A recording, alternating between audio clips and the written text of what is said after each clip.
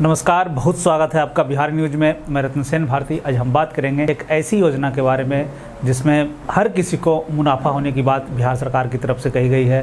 और यह बात है, मछली पालन कर रहे लोगों के तालाब उड़ाही करने को लेकर जो है बिहार सरकार ने एक बड़ा स्कीम लोगों के सामने दिया है। आपको बता दें कि बिहार सरकार मछली पालन के माध्यम से स्वरोजगार के माध्यम से स्वरोजगार के अवसर को बढ़ावा देने के लिए, उसके सामाजिक उत्थान के लिए तालाब के विकास व जीर्णोद्धार योजना के तहत 11 करोड़ रुपए से अधिक खर्च करेगी। इसके तहत तालाबों की उड़ाही एवं मत्स्य बीज हैचरी के निर्माण पर मछुआरों एवं मत्स्य पालकों को 50 फ़ीसदी की सब्सिडी दी जाएगी। इसकी खास बात यह है कि योजना का लाभ किसी भी श्रेणी का व्यक्ति ले सकता है।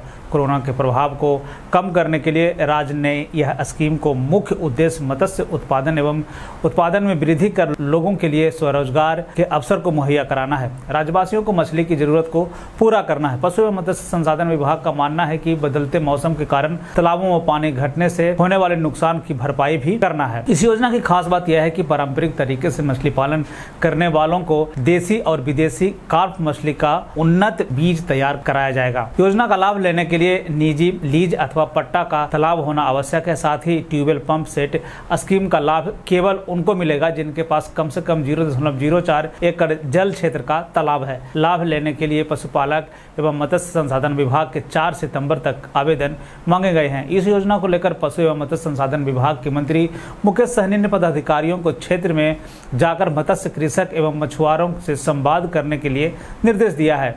विभागीय बैठक में पदाधिकारियों की अध्यक्षता करते हुए उन्होंने कहा कि सभी अफसर केंद्रीय एवं राज्य योजना के क्रियान्वयन में कोताही नहीं बरते। उन्होंने क्षेत्रीय प्रसार पदाधिकारियों की कार्य प्रणाली पर असंतोष प्रकट करते हुए कहा कि अधिकारी क्षेत्रीय स्तर पर प्रभार के प्रखंडों को पूर्ण जानकारी रखें। विभाग के सभी योजनाओं तथा बंदोबस्ती कार्य पारदर्शी तरीके से करने की भी उन्होंने नसीहत दी। इससे पहले बिहार सरकार ने प्रदेश में नीली क्रांति को सफल बनाने के लिए मत्स्य विभाग ने पहल की है। आपको बता दें कि बिहार सरकार ने कहा है कि मत्स्य पालन के लिए नए तालाब खुदवाने वालों को पचास प्रतिशत अनुदान दिया जाएगा।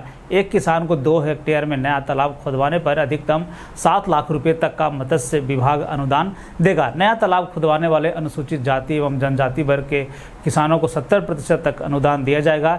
इसके साथ ही साथ चयनित किसानों को मत्स्य पालन का प्रशिक्षण देने के लिए विभाग उन्हें बाहर भी भेजेगा। इस योजना का लाभ पाने वाले लोगों को जिला मत्स्य पालन विभाग को आवेदन देना होगा। आवेदन मिलने के बाद विभागीय पदाधिकारी मौके पर जाकर ज़मीन के रकबा की जाँच करेंगे। अगर सब कुछ सही मिला तो आवेदन को चयनित कर अनुदान देने की प्रक्रिया शुरू कर दी जाएगी। नए तालाब मिलने के लिए क्या क्या ज़रूरी कागजात हैं? आइए हम एक बार उस पर भी नज़र डाल लें। सबसे पहले आप जिला मत्स्य विभाग को एक आवेदन देंगे। आवेदन के साथ में जमा करना होगा ज़मीन के कागज़ की छाया प्रति जिसमें दो हेक्टेयर में नया तालाब बनाने के लिए मिलेगा अनुदान। सामान्य वर्ग के लिए अधिकतम सात लाख रुपए तक का अनुदान देने की बात कही गई। इसके साथ एस सी वर्ग के आवेदक को मिलेगा सत्तर प्रतिशत का अनुदान। ज़मीन का निरीक्षण करने के बाद विभाग देगा इसकी स्वीकृति।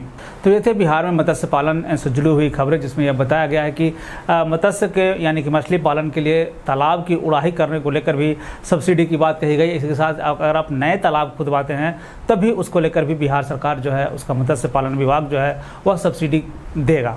बिहार और बिहार से जुड़ी और भी ऐसी खबरों के लिए बने रहें बिहारी न्यूज़ के साथ। मुझे दीजिए इजाज़त। धन्यवाद।